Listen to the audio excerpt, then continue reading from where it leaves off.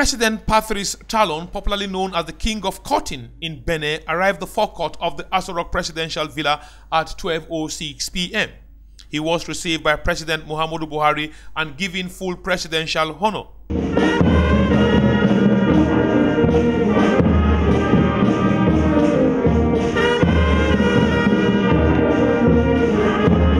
Both presidents later entered a closed-door session for about 40 minutes.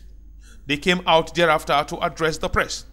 Speaking through an interpreter, the visiting president, Talon, said there is a resolve to strengthen ties aimed at combating smuggling. De dynamiser les échanges réels entre nos deux économies. We, we looked into a situation, we discussed the possibility of re uh, reactivate and re-energize uh, the relationship between, trade relationship between the two countries in such a way uh, that illegal trade is, is, uh, is not encouraged and uh, that legal illicit trade are encourage so that uh, uh, things are done in the proper way. Um, we have also touched on, on an initiative that was initiated by previous heads of state, and that is to establish a zone of co-prosperity between uh, among uh, four countries, Nigeria, Ghana, Togo, and Benin Republic.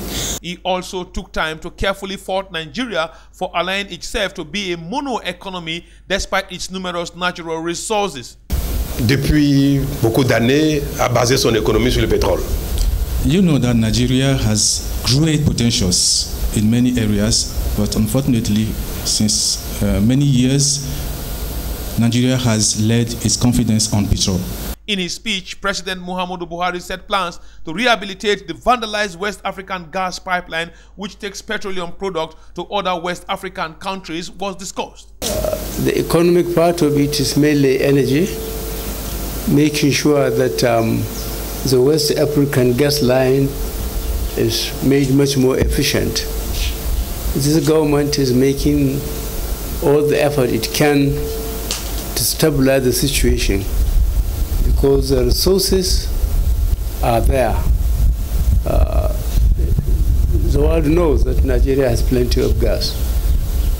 What we need to do is to stabilize the environment so that this gas can be regularly, uh, you know, pumped to the sub-region. President Buhari also noted that collaborative effort at combating crimes in the Gulf of Guinea is yielding results. The resolution between Nigeria and Benin to combat illicit trade, commonly referred to as smuggling within their common borders, is no doubt a noble one. But the question many will be asking is how will both nations combat smuggling, particularly when they have very porous borders? From the Aso Presidential Villa, I'm Ikharo Attah, ITV News, Abuja.